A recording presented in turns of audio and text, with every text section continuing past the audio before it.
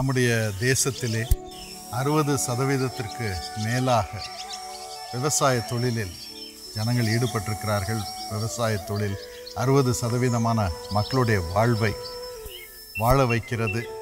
ஆகவே இந்த விவசாய துறையில் சேவையில் ஈடுபட்டிருக்கும் ஒவ்வொருவருக்காகவும் இன்று நாம் பிரார்த்தனை செய்ய வேண்டியது அவசியமாக இருக்கிறது. ஏனென்றால் அவர்கள்தான் அவர்கள் உழைப்பின் பேரில்தான் ஒன்று புள்ளி மூன்று ஏழு பில்லியன் மக்கள் நம்முடைய தேசத்திலே வாழ்கிறோம். ஆகவே ஆண்டவன் அவர்களுக்கு செய்வதெல்லாவற்றையும் வாய்க்கச் செய்து அவர்கள் மூலம் தேசத்திற்கு சுபிட்சத்தை கொண்டு வரும்படியாக நாம் அவர்களுக்காக பிரார்த்தனை செய்ய போகிறோம். அவர்களுடைய சேவையில் என்னென்ன பாடுகள் இருக்கிறது என்பதை குறித்து நாம் சில விவசாயிகளோடு நாம் பேசப் போகிறோம். நாம் ஆண்டவனிடம் மன்றாடி அந்த பாடுகளிலிருந்து அவர்களை விடுபெறச் செய்து அவர்கள் செழிக்கும்படியாக அவர்கள் சேவையை ஆண்டவன் ஆசீர்வதிக்கும்படியாக நாம் ஆண்டவனை வேண்டிக் கொள்வோம். இப்பொழுதும் அவர்களில் ஒருவரை முதலாவது சந்திப்போமா? ஆ வணக்கம்மா. வணக்கம் வணக்கம். உங்கள் பேர் என்ன? கோவிந்தராஜுங்க ஆ, விவசாயம் தான் பண்ணுறோங்க அப்படியா? எத்தனை வருஷமாக பண்ணிட்டு இருக்கீங்க நாங்கள் மூணு தலைக்கட்டாக இருக்கோங்க. அப்படியா? இங்கே சிறுவாணி பகுதியில் தான்? சிறுவணி இதே தான். இங்கே தான் மதுபராய்க்கிறோம் தான் சரி சரி சரி. நாங்கள் வந்து விவசாயம் தான் பார்த்துருக்கோம். ஆ என்னென்ன விவசாயம் பண்ணுறீங்க? ஐயோ மக்காசோளம் நெல் மழை இல்லைன்னா ஒன்றும் பண்ண முடியாதுங்க. மழை இருந்ததுன்னா ஏதோ இப்படி செய்யலாம். இப்போ மழை பெஞ்சா உங்களுக்கு நல்ல விவசாயம் நல்லது. வானம் பார்த்த பூமி தான். அளவுக்கு மீறி மழை பெஞ்சாலும் நஷ்டமாகும் ம். இந்த வருஷம் எப்படி இருக்கு? இந்த வருஷம் நல்ல மழை இருக்குங்க. ஆனால் கொஞ்சம் சேதாரம் அதுக்கப்புறம் இந்த யானை.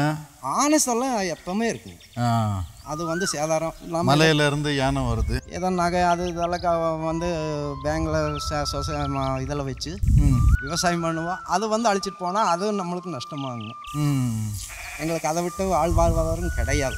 விவசாயத்தை தவிர்த்து எங்களுக்கு எதுவும் தெரியாது. இந்த மயில். மயில் தொல்லையும் இருக்குங்க. அதுவும் இருக்குங்க. மயில் தொல்லை அப்புறம் காட்டு பண்ணி காட்டு பன்னி அப்புறம் யானை. இதுக்கெல்லாம் சேதாரம் பண்ணுங்க.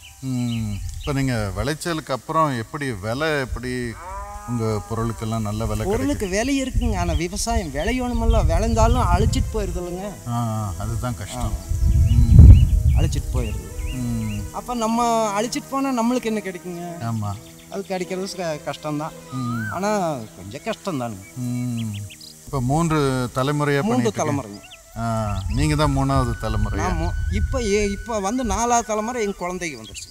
அவங்களும் விவசாயத்தில் ஈடுபட்டிருக்காங்க. ஆமாம். ஆமாம் சரி இப்போ நிறைய புது டெக்னிக்லாம் வருது அது எதுவும் உங்களுக்கு சொல்லி கொடுத்துருக்காங்களா? ஆ சொல்லி கொடுத்துருக்காங்க. கவர்மெண்ட்டில் கவர்மெண்ட்டில் சொ வந்து சொல்கிறாங்க ஆனால் அதையெல்லாம் இனிமேல் செய்யலாங்க. செய்யணும். இப்போ நம்ம ஆண்டவன்கிட்ட கேட்கணுன்னா நம்ம என்ன கேட்கணும் உங்களுக்கு? உதவி செய்யறதுக்கு என்ன பிரார்த்தனை பண்ணணும்? எதுக்காக பிரார்த்தனை பண்ணணும்? இது யானைக அதுக்கு இதுக்கெல்லாம் சேதாரம் பண்ணாமல் இருக்கிறதுக்கு பிரார்த்தனை பண்ணணும். மழை சரியான நேரத்தில் சரியான- அளவில் வரணும். வரணும். அளவுக்கு மீறி வந்தாலும் சேதாரம் ஆகும் ஆ சரி. எனக்கு அருமையானவர்களே ஐயா அவர்கள் சொன்னதை நீங்கள் கேட்டீர்கள். அவர்கள் இந்த விவசாயத்தை தான் மூன்று தலைமுறையாக இப்பொழுது நான்காவது தலைமுறையாக செய்து கொண்டு வருகிறார்கள். இதையே தொடர்ந்து செய்கிறார்கள். ஆனால் இதில் வரும் சேதங்களை குறித்து அவர்கள் சொன்னார்கள். இயற்கை சேதங்கள் இன்னும் மழை வராமல் இருக்கும் பொழுது மழை அதிகமாக வரும் பொழுது இன்னும் காட்டு யானை இன்னும் மயில் இன்னும் காட்டு பன்னி அதெல்லாம் வந்து சேதப்படுத்தும்.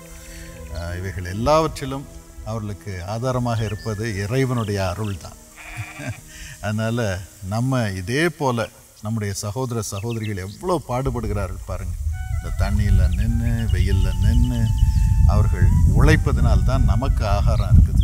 அவர்களை நாம் மதிக்க வேண்டும் அவர்களை நேசிக்க வேண்டும். அவர்களுக்காக நாம் இறைவனிடம் பிரார்த்தனை செய்ய வேண்டும்.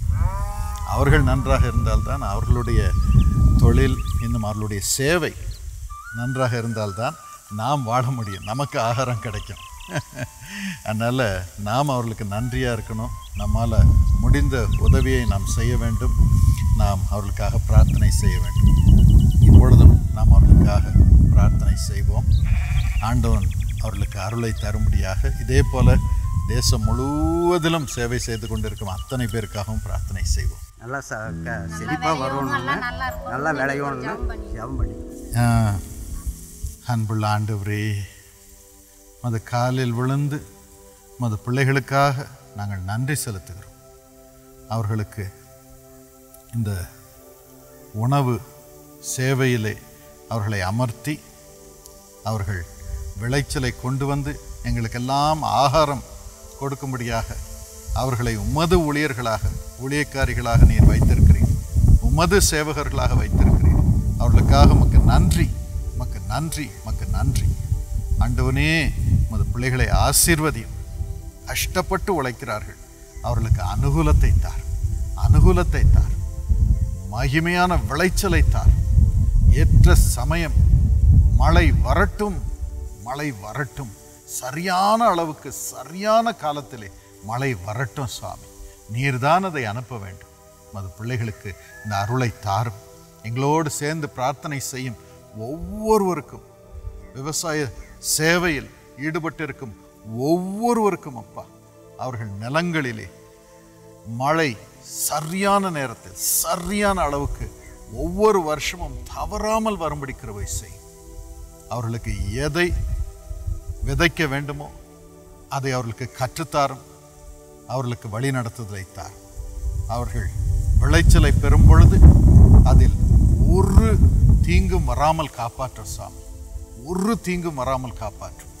இந்த விளைச்சல் வரும் பொழுது ஆண்டவனே பூச்சோ இன்னும் மற்ற இயற்கை சேதமோ மிருகங்களின் சேதமோ வராமல் காப்பாற்றும் காப்பாற்றும் காப்பாற்றும். அவள் பூமியை ஆசீர்வதியும் ஆசீர்வதியும் ஆசீர்வதியும். பத்திரமாய் காத்துக்கொள். அப்பா விளைச்சலை அவர்கள் பெறும் பொழுது நல்ல விலைக்கு அது விற்கும்படி அருள் புரியும். எல்லாம் விற்கும்படி அருள் புரியும். நல்ல விலைக்கு விற்கும்படி அருள் புரியும். கடன் இல்லாமல் காப்பாற்றும். கடன் இல்லாமல் காப்பாற்றும். இதில் சேவை செய்யும் வேலை செய்யும் ஒவ்வொருவர் குடும்பத்தையும் வாழவையும் அவள் பிள்ளைகளை வாழவையும் அப்பா.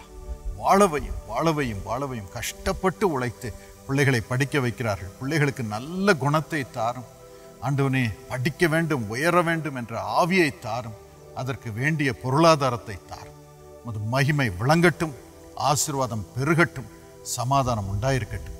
இங்கு இருக்கும் எங்கள் சகோதரிகள் எங்கள் சகோதரர் அத்தனை பேர் குடும்பத்தையும் ஆசீர்வதித்து வாழவையும் சமாதானத்தின் நாட்களை தார். நீரேவைகளை செய். நீர் பரம தகப்பன் அப்பா. பரம தகப்பன்.